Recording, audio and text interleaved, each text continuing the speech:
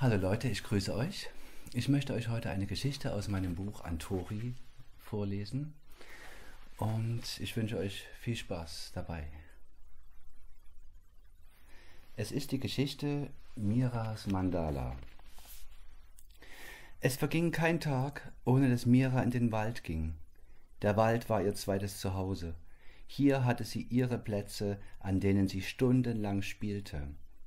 Es kam hin und wieder auch vor, dass sie die Zeit vergaß und zu spät zum Abendbrot kam.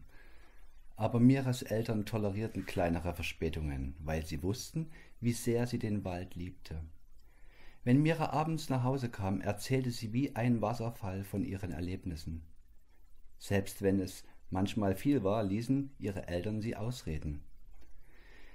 Es lagen Magie und Wunder in Miras Worten. Ganz besonders liebte ihr Vater ihre Geschichten.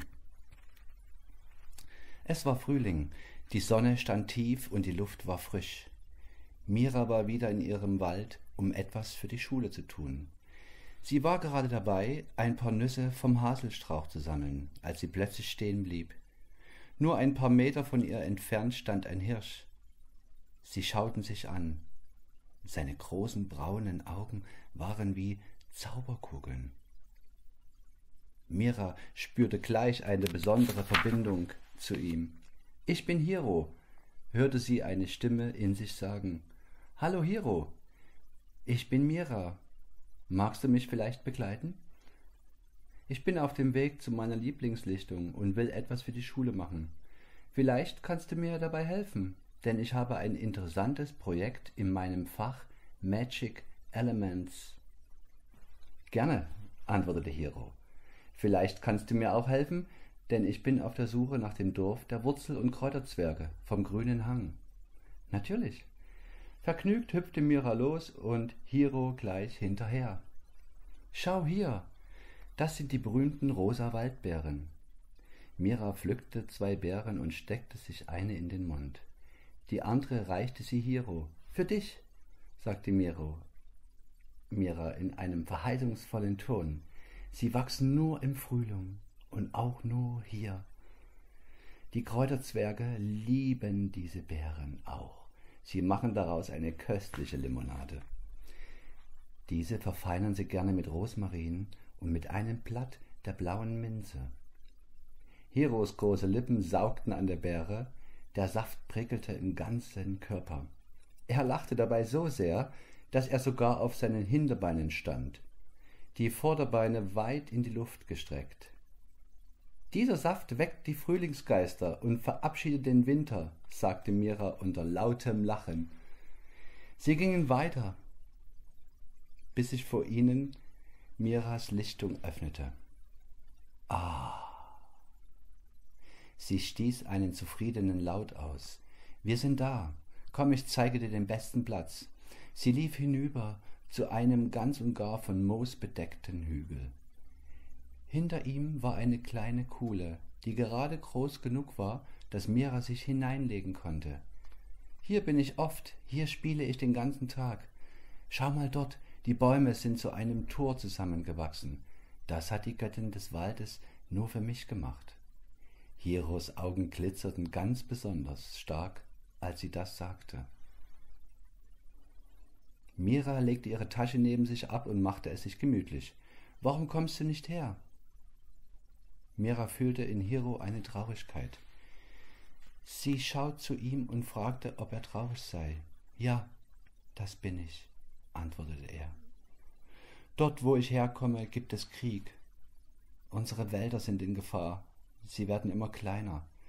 Wir wissen nicht mehr wohin. Meine Familie ist auseinandergetrieben worden, weil sie uns jagen.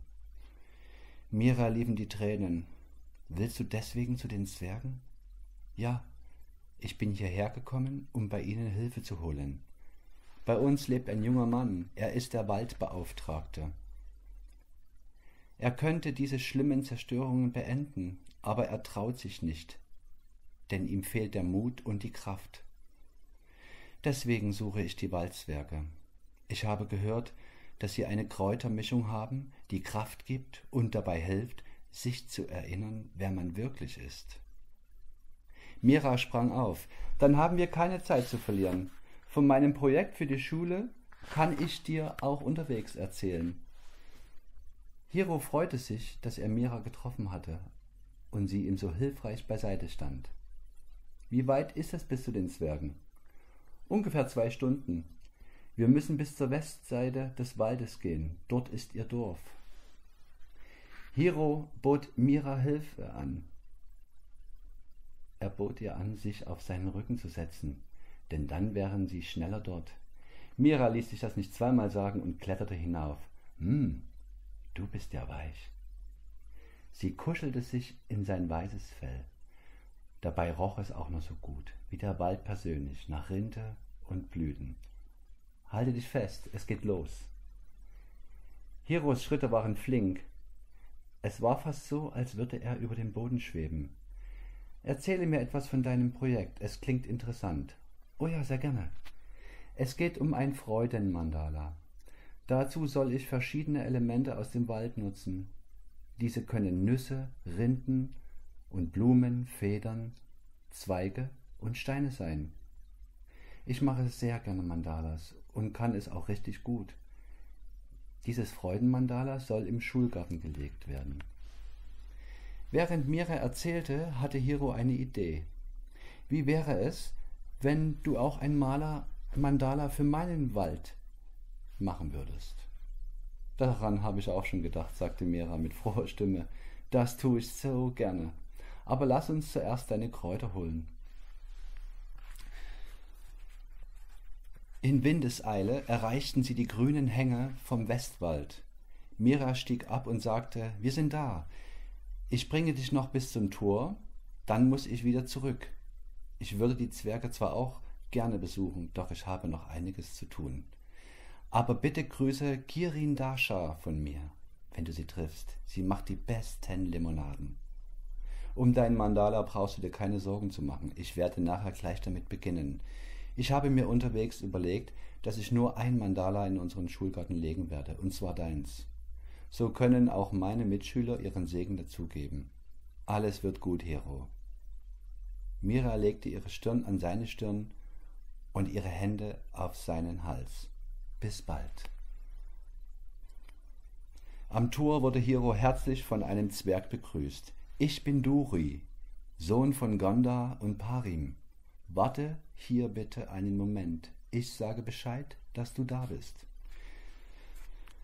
Das Dorf der Zwerge reichte bis hinauf zu den Hügeln, wo auch einige ihrer Häuser hineingebaut waren. Sie sahen so lieblich aus, Ihre Dächer waren rund und mit Moos und Gras bewachsen. Von kleinen Steinen umrandete Wege verbanden die Häuser miteinander. An den Häusern waren Mandalas aus Hölzern, Früchten und bunten Steinen angebracht. Pralle Brombeerbüsche säumten die Wegkreuzungen an den Hängen. Es duftete köstlich nach frischem Sesambrot, Pilzen und in Zimtsoße eingelegtem Wurzelgemüse. Eine Zwergin kam auf Hero zu und sprach Hallo, ich bin Gonda. Ich bin die Tochter der Dorfältesten. Was können wir für dich tun? Hiro erzählte ihr alles. Gonda hörte aufmerksam zu und dacht, dankte Hiro, dass er sie aufgesucht hatte. Wir helfen dir und deinem Wald sehr gerne. Lass uns gleich beginnen. So gingen sie zu ihrem Haus, um noch einige Zutaten für die Kräutermischung zu holen. Gonda brachte auch ihren Mann mit, denn er verstand sehr viel von Erinnerungs- und Essenzmischungen. Zusammen gingen sie die Hügel hinauf bis hin zur alten Eiche. Sie stand prächtig groß und ihre weit ausladenden Äste bildeten ein großzügiges Dach. Gonda zeigte auf den achteckigen Tisch am Fuße der Eiche. Hier werden wir die Mischung anfertigen. Sie holte Schalen und kleinere Gefäße aus ihrer Tasche und ordnete sie auf dem Tisch an. Dabei sang sie in einer Sprache, die Hiro noch nicht kannte. Parim legte dabei die Kräuter zielstrebig in die Schalen. Hiro konnte sehen, dass er genau wusste, was er tat. Ab und zu hielt Parim eine Wurzel oder ein Blatt vor seinen Mund und hauchte hinein. Nach einigen Minuten lagen in jeder Schale Kräuter, Wurzeln und Blüten, die Gonda in einer türkisblauen Schale zusammenmischte. Fast fertig, sagte Gonda und hielt Hiro die Schale hin. Sie bat ihn, etwas von seiner Spucke dazuzugeben.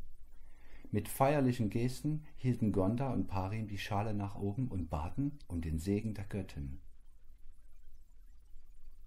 Dabei stieg auch Hiro in den Gesang mit ein. Ein goldener Schimmer umgab die drei Gestalten. Dann holte Gonda aus ihrer Tasche einen kleinen blauen Beutel und gab die Kräutermischung sorgfältig hinein. Diese bringe in die Nähe von dem jungen Mann.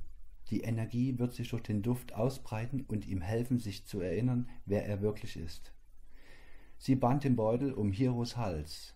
Dieser bedankte sich bei Gonda und Parim und machte sich gleich auf dem Rückweg zu seinem Wald, so schnell er konnte. Er fühlte große Energie, die aus seiner Zuversicht und seiner Dankbarkeit kam.